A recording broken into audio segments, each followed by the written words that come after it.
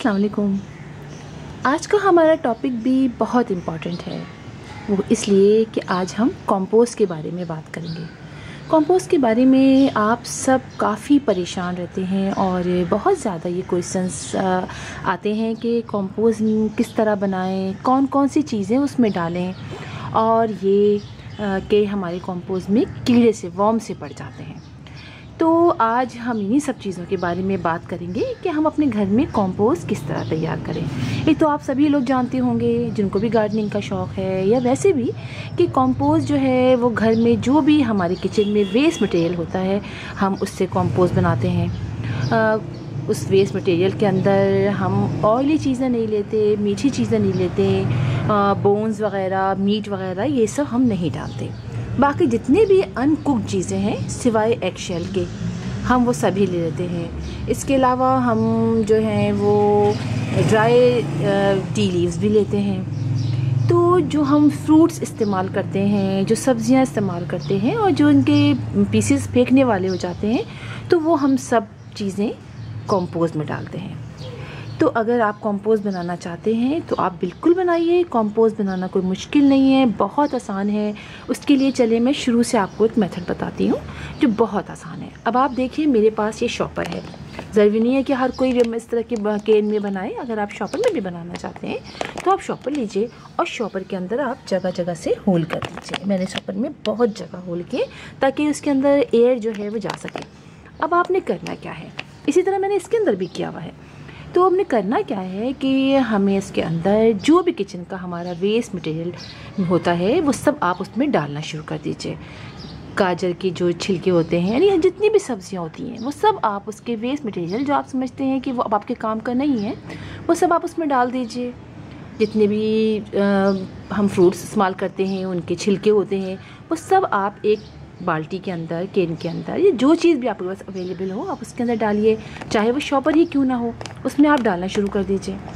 और ये फिर उसको आप, उसके अंदर आप, आपके गार्डन में जो लीव्स वगैरह निकलते हैं, इसके अलावा घर में जो कार्टन्स होते हैं कार्टन वगैरह जो होते हैं, वो आप उसके पीसेस कर लीजिए, वो डाल लीजिए, आबार के पीसेस डाल लीजिए। ये सब चीज़ें आप डालते चले जाइए। और उसको फिर आप कवर कर दीजिए, किसी भी कपड़े से, किसी चीज़ से, ताकि उसमें एयर जाती रहे। और थोड़ी सी सॉइल भी उसमें शामिल कर दीजिए। गोबर की खाद नहीं है आपके पास, कोई बात नहीं है।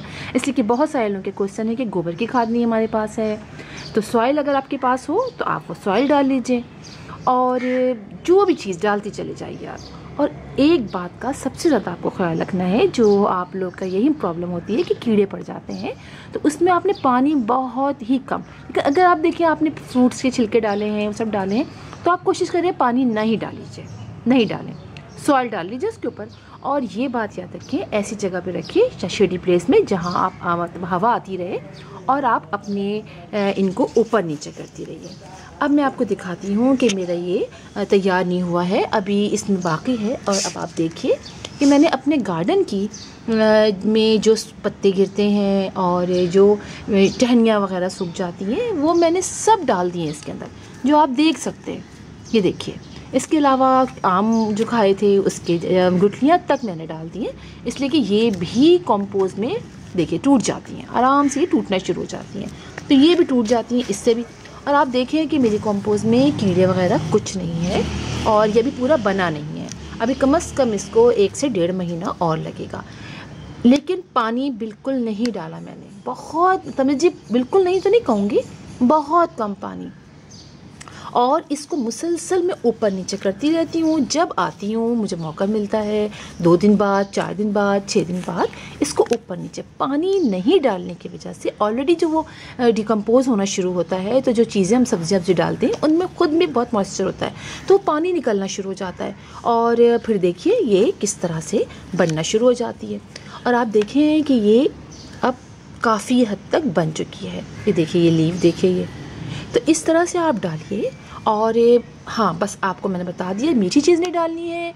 आपने इसके अंदर ऑयली चीज़ें नहीं डालनी है और इसके अलावा गोश्त वगैरह, हड्डी वगैरह, ये आपने नहीं डालनी है। और बाकी आप देखिए, कितनी आसानी से ये कितनी ज़बरदस्त एक तरह से समझिए फर्टिलाइज़र भी हमारे प्लांट के लिए बन गया और इसके अलावा ये सॉइल भी बन गई। अब आपको दिखाती हूँ, जो तैयार हो गई है, वो मैं आपको दिखाती हूँ। ये देखिए। ये मैंने बनाई है, मेरी शॉपर के अंदर है और मैंने भी छान के थोड़े से पीसेस थे मैंने हटा दिए और अब आप इसको देखिए। ये देखिए कितनी ज़बरदस्त है। अगर मैं इसको दबाऊँ तो आपको दिखाती हूँ, ये देखिए। ये देख रहे हैं आप? बिल्कुल ये आप देखिए कितनी ज़बरदस्त ये हो चुकी है। इसमें थोड़ी मट्टी मैंने डाली थी जब मैंने बनाया था और अब आप देखिए कितनी ज़बरदस्त है ये। तो ये हमारे प्लांट के लिए आप देखिए सारी चीज़ें ख़राब जो थी, मैंने डाली थी और वो सब गायब और कितनी ज़बरदस्त हमारे प्लांट के लिए सॉइल और फर्टिलाइज़र दोनों चीज़।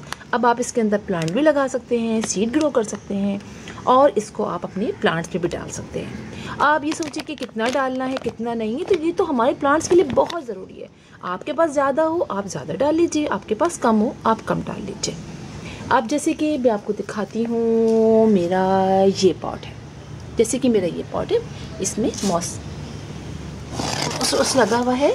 और मतलब कि पर्सलेन लगा हुआ है। अब आप कहें कि इसमें कितना डालना है? ये मेरा छः इंच का पॉट है। तो कोई ऐसा मसला नहीं है। अभी इसमें बहुत जगह है।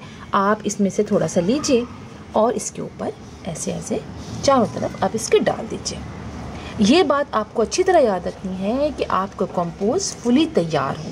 अगर फुली तैयार नहीं होगा और आप ऐसा डाल देंगे तो चूँकि इसमें डिकम्पोजिशन कंपोस्ट का अमल चल रहा है, अभी ये समझिए, अभी कुछ चीज़ें हैं, कुछ गल सड़ रही हैं तो वो आपके रूट्स को प्लांट के रूट्स को ख़राब कर देंगी। तो आपने ऐसे नहीं करना है। इसको फुल तैयार करना है। और आप समझिए कि अभी थोड़े से पीसेस रह गए हैं और बाकी तैयार हो गए हैं काफ़ी हद तक तो आप इसको छान लीजिए। जैसे कि मैंने ये छाना है।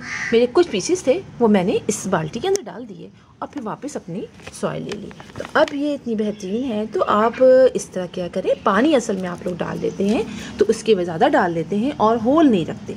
होल आपने बहुत रखना है, इसको किसी भी चीज़ से कवर कर दीजिए, ऊपर नीचे करते रहिए। इसलिए कि पानी डालने से फिर सड़ने, गलने का अमल बहुत तेज़ी से शुरू हो जाता है और फिर चीज़ें जो होती हैं वो गलती सड़ती इस तरह से हैं कि कीड़े पड़ते हैं। अब देखिए, इसके अंदर कहीं कीड़े नहीं हैं और चूँकि मैं आते जाते इसको करती रहती हूँ, अब आप देखिए नीचे तक। फिर देखिए, अभी इसमें पूरा तैयार नहीं हुआ है, अभी आप ये देखिए, लीव्स वगैरह, ये मेरे सब इसके अंदर है और ये सॉइल तैयार हो रही है। तो इस तरह से आप भी कीजिए और बहुत आसानी से घर का जो वेस्ट सारा है किचन का, उससे इतनी ज़बरदस्त आपके प्लांट होते हैं और आप इसको बना के इस्तेमाल करके देखिए।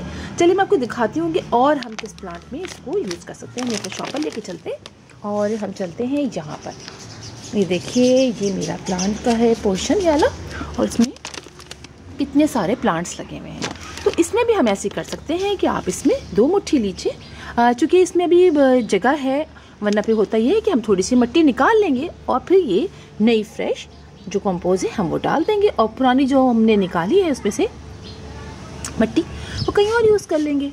तो ये देखिए जैसे मैंने ये लिया। ये लेके और आप इसको साइड साइड में इधर उधर हर तरफ़ फैला दीजिए और फिर पानी डाल दीजिए। कोई ऐसी प्रॉब्लम नहीं है कि आपके प्लांट ख़राब होंगे।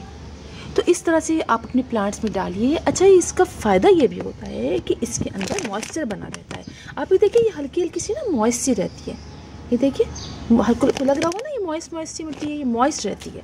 एक तो मॉइस्ट रहती है और ऊपर से लाइट वेट है। इसका वेट बहुत हल्का होता है, बिल्कुल हल्का। तो आप इसको अपने जो हैंगिंग प्लांटर्स बनाते हैं, उसमें आप यूज़ कर लीजिए और किसी जगह भी यूज़ कर लीजिए। और इसके अंदर अब मैंने जो है लीव ओवर किचन का वेस्ट दोनों डाला है तो ये और ज़्यादा अच्छी हो गई है। यानी ये जो कंपोज होती है, ये बहुत ठंडी होती है आपके प्लांट को हीट से भी बचाती है और इसके रूट्स के लिए बहुत अच्छी होती है। तो इस तरह से हम अपने सारे प्लांट्स को आप डालिए, जैसे कि हैंगिंग प्लांटर्स मैंने ये बनाए हुए हैं। तो इसके अंदर मैंने यही यूज़ किया हुआ था। इन सब के अंदर। और चूँकि धूप आ रही है तो आप देखिए, थोड़े से मेरे प्लांटर ख़राब भी होने शुरू हो गए हैं इनके लीव्स लेकिन मैं क्या करूँ? चूँकि जगह नहीं है बिल्कुल भी। और इसी तरह देखिए, मैंने सारे यहाँ रखे हैं, और जो मैंने आपको मग और प्लांटर्स दिखाए थे, आप ही देखिए, इनके अंदर भी मैंने थोड़ी देर के लिए, हफ़्ते में एक दिन ला के मैं इनको थोड़े से यहाँ पर रख देती हूँ। तो उससे होता ये है कि थोड़ी सी इनको रोशनी भी मिल जाती है, और फिर अब जो है, मैं इसको कल जो है, यानी कल मैंने रखा है और अब मैं रात को, आज रात को मैं इसको अंदर ले जाऊँगी और फिर ये अंदर रहेंगे पूरे हफ़्ते और फिर जब इसका होगा अगले हफ़्ते, मैं पीर के दिन शाम तक इसको वापस बाहर ले आऊँगी। तो इस तरह से आप अपने घर में लगाइए प्लांट्स में और सब में डालते रहिए तो कोई ऐसा प्रॉब्लम नहीं होगी। तो फिर इंशाल्लाह आपसे मुलाकात होगी किसी और वीडियो में, तब तक के लिए अल्लाह हाफिज़।